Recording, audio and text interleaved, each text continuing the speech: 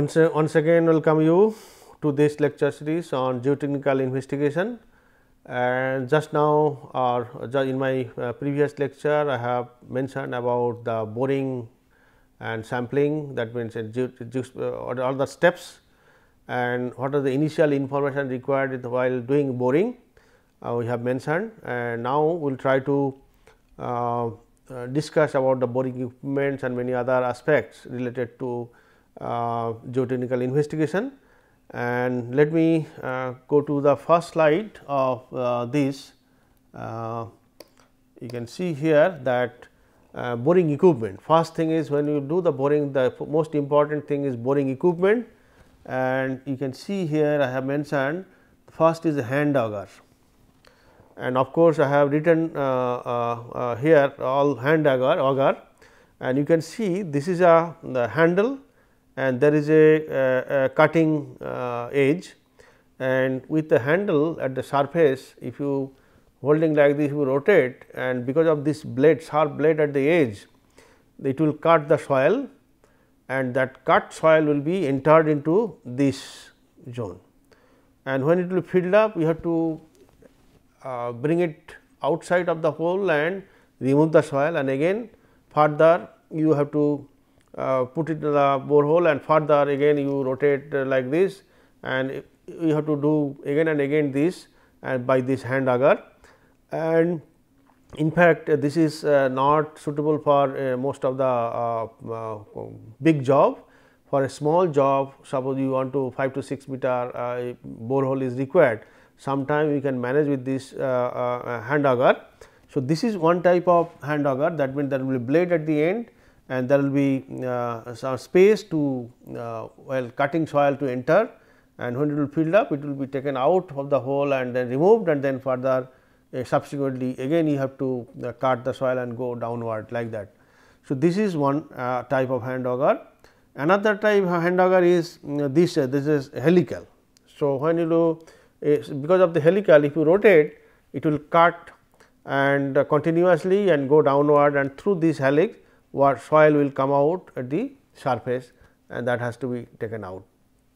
And then uh, suppose this is having a, a definite length about 3 uh, 2 meter or something and if you want to go deeper then this handle can be removed and this extension rod can be added and to enter into the uh, particular depth and then again further go deeper.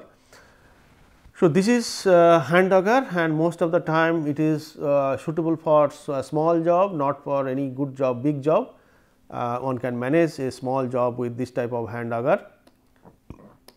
Then it is a truck mounted auger actually and here actually you can see that the same thing the, this one is a cutter head is there and then it is a continuous flight augers in section that means uh, you have to and cuttings will be coming in the in the, in the surface uh, it will come here and this can be attached to the uh, uh, uh truck and then uh, previously whatever we have shown that is actually basically by hand operated. Now, through this truck there may be some machine will be there generator will be there through which this can be operated. So, you can go quite deep. So, it is much better than the standard hand auger and this is actually suitable for above water table in sand, silt and clays, make pull-ups in soft soil or below water table. So, these are the uh, uh, because when you are doing this the side soil may collapse actually. So, may not be suitable in that case. So, that is one thing and next one is uh, wash drilling actually. This is another type of thing you can see there will be a chipping bit here at the end and the water will be forced through this here. And because of that the soil in this will be soil in this area will be cut. And because of this pressure uh, of water the soil will cut and it will become mixed with water it become mud. And those mud will be in the form of mud will come out and it will be put in a particular uh, basin or tub and when you put this mud in the tub then what will happen some of the soil will settle there and clean water will overflow from here and that water can be reused. So, this is a wash boring and most of the time it is used in a soft soil and easy to do. Actually, most conditions it will be used requires truck, drill rig and water for drilling mud. So, that water is required for drilling mud otherwise it, it cannot be done because this water only helping the cut the soil and finally, in the form of mud it is coming out here. And this advantage of this type of uh, again what you have to do for uh, doing this type of uh, borehole uh, how to find out the stratification then? The continuously this uh, fluid is coming out mud is coming out you have to observe the mud uh, color and you have to take the composition of the mud. Sometime you have to collect and see what it is carrying. Okay. And based on that whenever there is a change then you immediately have to note that there is a change of layering. Similar to this, uh, uh, sorry, similar to this, there is a, a rotary uh, wash drilling actually. You can see it is little stronger and bigger equipment and almost similar. It will be bit will be there, a cutter bit or a core barrel with core bit attached to this. And then again uh, same thing the water in the in the form of mud actually water will come out it will main pit and then from the settling settling pit and then it will go to the main pit and from there again it can be used. This is slightly complicated, but it is almost like wash boring only, but it is cutting for the cutting the little stronger arrangement is required actually like cutter bit or core barrel is required to cut this one and also uh, it will be powered uh, uh, not by hand operation.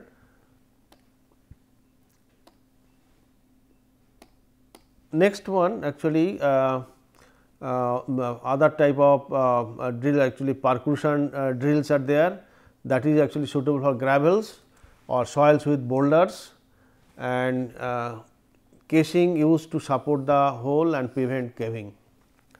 So, that means, uh, if it is a boulder type of things, so if you make a borehole something like that, so those uh, boulders etc., they will come into the borehole and it will collapse. So, because of that generally you have to put some uh, casing. In fact, was, uh, wash uh, boring I uh, missed the actually this point while making wash boring actually initially you have to by auger actually you have to go little depth. And then afterwards you have to put the uh, casing. And then through that casing you have to do continually wash boring otherwise it will not be otherwise surface collapse will be there. Possibility of collapse. And then wire wireline bore drilling this deep holes and offshore drilling this is the method used. So, all details are there in most of the textbook if you are interested can read further about this. Next thing is sampling equipment, uh, sorry. Sampling equipment uh, we can have actually uh, our sample equipment nothing but a sampler actually. And you can see the as I have mentioned before that disturb samples how to get actually if the wall thickness is very suppose there is a sampler wall thickness is this much and if you uh, this is a sampler suppose circular in section or whatever may be and if you push in the uh, soil because of this thickness actually the, when soil enter into it there will be lot of disturbance.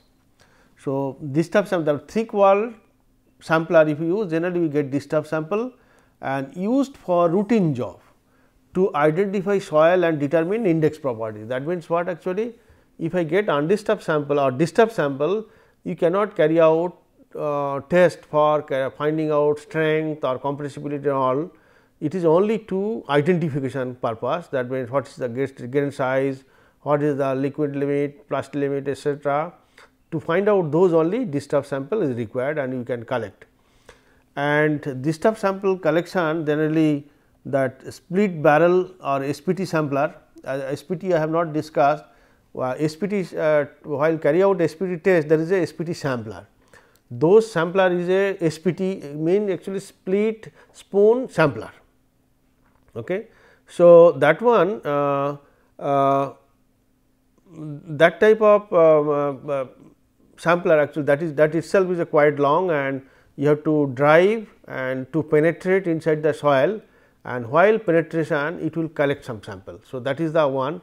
So, SPT and, and another auger you know that when you are doing uh, you are when you are rotating like this by uh, that uh, with a uh, blade at the end the soil get cut and that soil you are removing that soil also can be used as sample for identification purpose. So, auger sample and split barrel sample and split barrel actually one photograph is shown one uh, sketch is shown here. You can see actually 32 inches long actually total length what is the diameter and different parts actually shown. And this is this can be actually after coming into bringing into the sample it can be divided uh, it, it will split. And if it split and then you can one part if you remove then inside the uh, sampler how the soil is one can see visually and then afterwards you can collect that to do other further testing. So, this is one uh, SPT uh, sampler actually uh, while carry out SPT test uh, it will actually through this soil will enter actually and that soil can be used for uh, identification purpose also.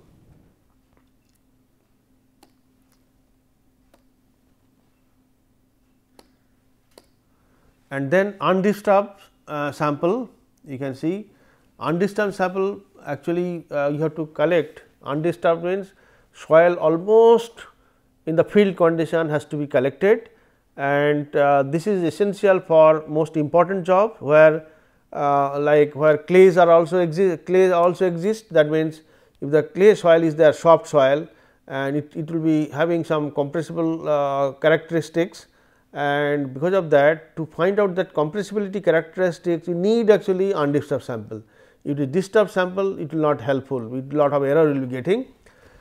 And sample used for labor, uh, uh, sample used for laboratory testing for strength and consolidation. That means undisturbed sample that means uh, we collect for doing this testing for uh, uh, strength and consolidation characteristic. These two important things you find out by undisturbed sample.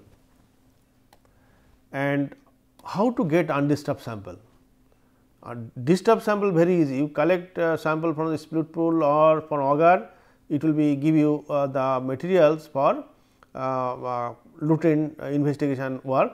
But if you want to find out the strength and compressibility you need undisturbed sample and but how to find out this undisturbed uh, how to uh, get uh, your undisturbed sample.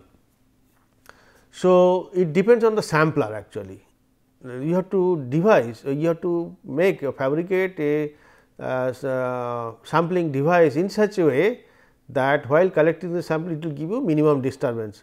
So, there are some guidelines actually you can see here is given that sample requirements of sampler for undisturbed sample. So, that one actually is given two things are given area ratio and inside clearance ratio. So, how it is defined actually it is suppose I will very enlarge one I will draw.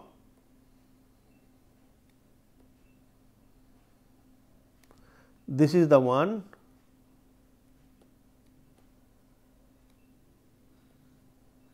So it, it, it is not correct. Actually I will re remove this one.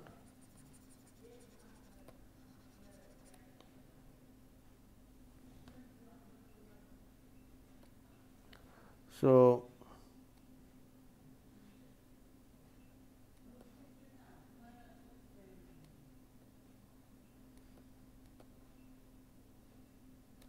Suppose the sampler is like this.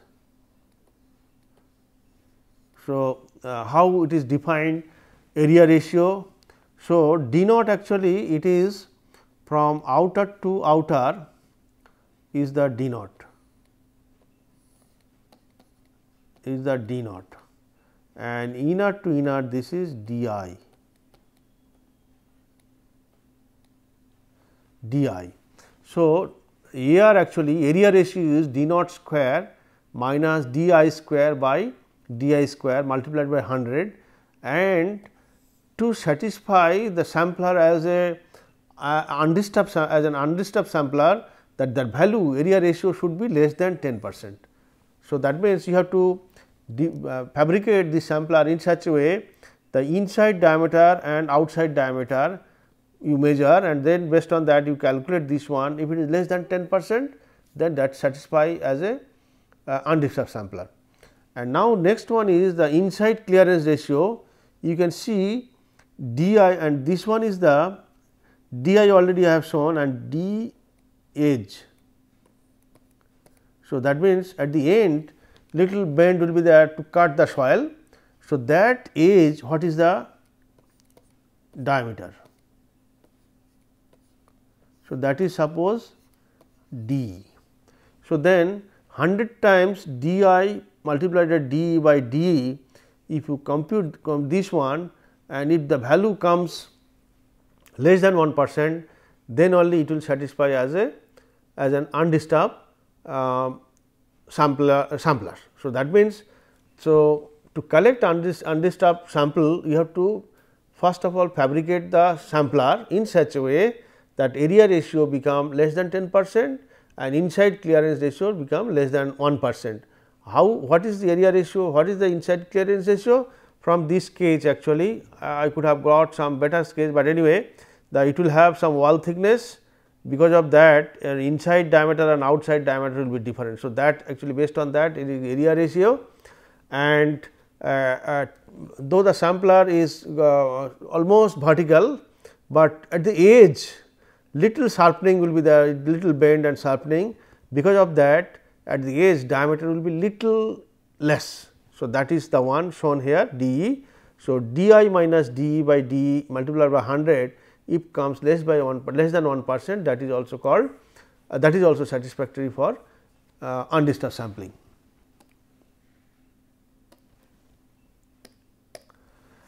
Now, uh, there are a few names are mentioned here the sample sampler type the hydraulic piston, pitcher and Denison barrel uh, these are actually uh, uh, sampler by which we can get the undisturbed sample. Another actually very good way of collecting undisturbed sample hand cut block sample. Okay. Suppose there is a area, uh, uh, suppose this is the area. Okay. So, first of all you excavate Uh, deep and suppose uh, this is the excavation level, but what I do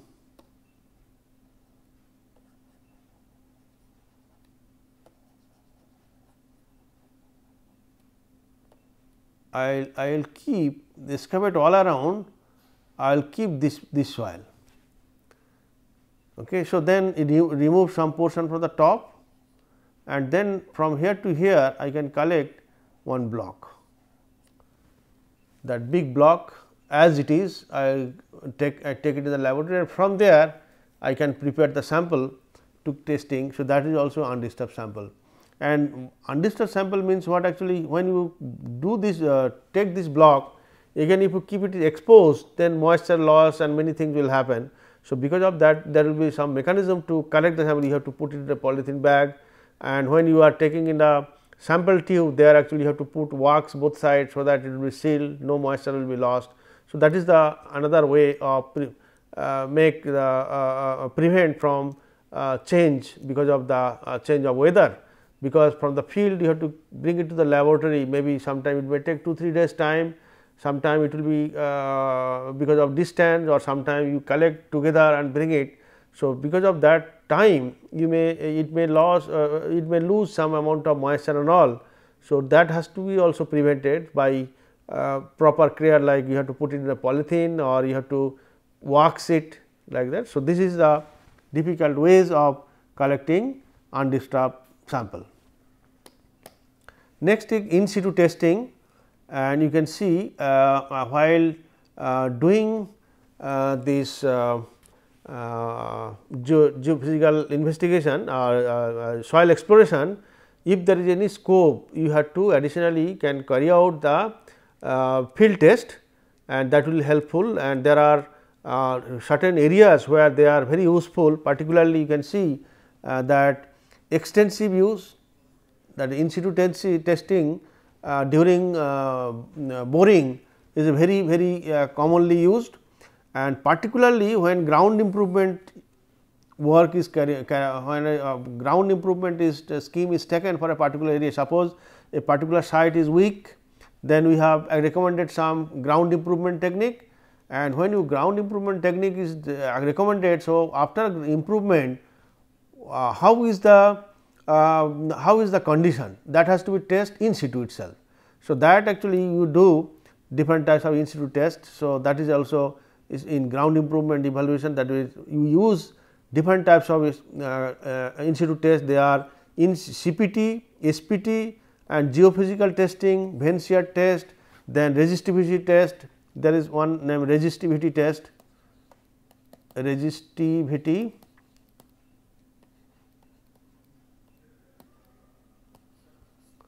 Resistivity test also. So, there are these are the different types of field test we carry out uh, very commonly uh, during uh, boring and uh, uh, process and it is more suitable particularly suitable for evaluating ground improvement site. And of course, for doing this there must be some advantage, there must be some disadvantage and they are listed here you can see that uh, uh, advantage is first use in soil that cannot be sampled easily. This is actually very uh, interesting because particularly when sand and all uh, collecting undisturbed sample very very difficult. It is almost impossible. So, in that case uh, it is better to get the field test to get the to, to evaluate the soil properties. So, that means first thing is advantage as use in soil that cannot be sampled easily. So, particularly sand is one then your gravel is another one if it is a very soft sensitive soil also it is another point. Soft sensitive soil what will happen during uh, because of the sensitivity uh, while, uh, while sampling it will be disturbed so much that when you carry out test in the laboratory it will not be of representative to the site. So, those conditions that means uh, your uh, sand or gravel, sand, gravel, then your uh, soft soil, where your undisturbed sample is difficult, it is useful and test in correct environment that means you can see that is another important thing. Test in if you advantage of uh, field test is we are testing the correct environment that means when you take into the laboratory environment will change. Environment means site environment and site environment means uh, because of this depth uh, at different depth actually because of the confinement and all will change, water table, many other things are there which laboratory you are doing control condition, but here actually there are so many uncontrolled uh, environmental effects are there under which we are testing. So, that way it is beneficial and continuous profile that means CPT sometime we get profile something like this. Okay. So, zigzag uh, profile continue when you advance to the depth you will continuously get the profile and whereas uh, uh, in uh, this is advantage of CPT and whereas if you do SPT, SPT also you do carry out some interval sub 1.5 meter interval that SPT number of suppose this is the depth and SPT number at different depth you you are carrying out different depth some numbers if you plot also you will get by and large a, a continuous profile like. So, how the SPT number is varying uh, we can get and that variation of SPT number itself will be giving indication of the variation of the soil profile. So, that means continuous profile we are getting from field test.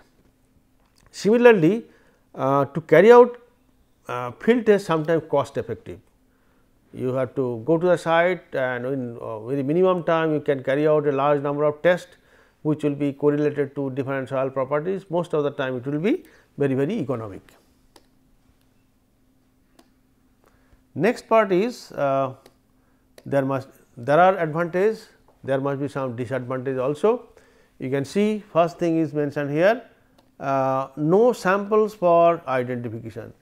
If you carry out some test like CPT type of test and then or if you vane test if you carry out in the site or plate load test in the site you do not have any soil or a sample for identification.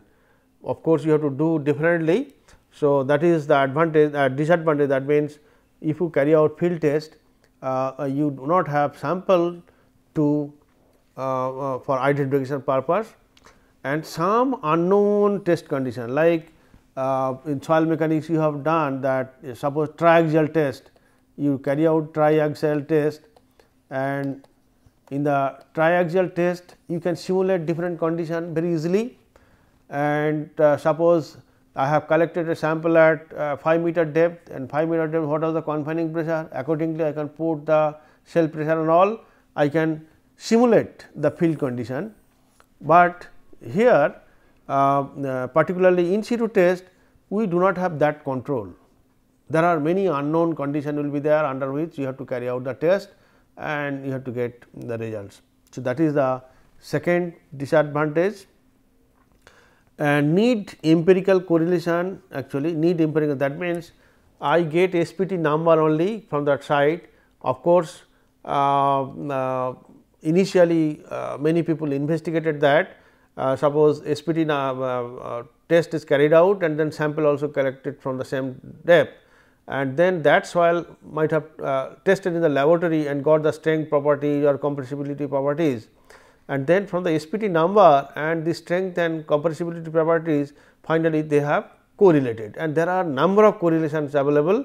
And so you have to rely on that. That is one thing. So, need empirical correlation. That means if you carry out test, but now that this type of some of the tests are used so so many years people are experienced they know uh, what type of correlation will be useful and that is available, but still this is the drawback that so only by carrying out the test you will not get the soil property. You have to use the help of correlation then to find out the soil properties. So, that is another disadvantage and if the correlation is not fitting most of the time correlations are developed for a particular site or soil condition and may not be suitable for other condition, but uh, so, those type of things uh, areas sometimes it will give you some problem and uh, test only current condition. That means uh, in the in the in the in the uh, uh, in the field test what are we are doing? When you are carrying out the test that is currently what is the condition that under that condition only you are testing, but this condition maybe after 6 months may change after 3 months may change after 1 year may change like that. So, that means because of this variation what should be the change that we do not know. So, that has to be again incorporated by some other means. So, this is also another disadvantage that we are testing only under the correct condition. Okay. So, suppose if the water table like variation and all those things uh, because of that some changes will be there which will not be able to uh, get from this type of in situ testing. So, these are the different uh, advantage and disadvantages of field testing. Now, uh, next thing I will discuss about the different type of field testing about CPT, SPT etc., in detail and then what are the different correlation available to find out the soil properties and design of foundation and that part perhaps I will take in the in the subsequent uh, lecture. Thank you.